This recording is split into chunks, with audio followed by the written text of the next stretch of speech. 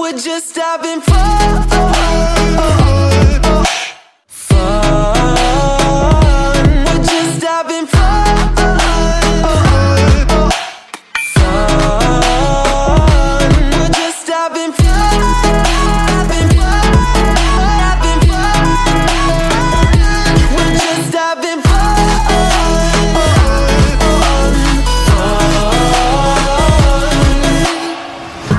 too much to choose.